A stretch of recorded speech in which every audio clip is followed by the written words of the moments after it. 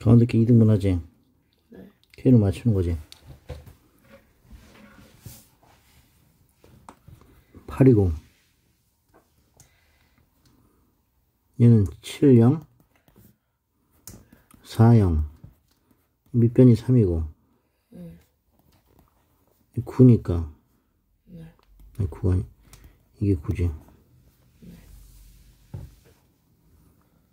그러니까 이게 9잖아 그럼 전체 넓이는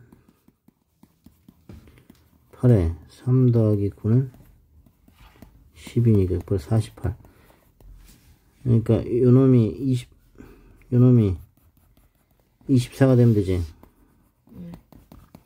2분의 1에 높이가 8이고 밑변이 얼마? K-4 높이가 얼마? K. 4니까 얘가 6이지 그러니까 k는 5 나왔나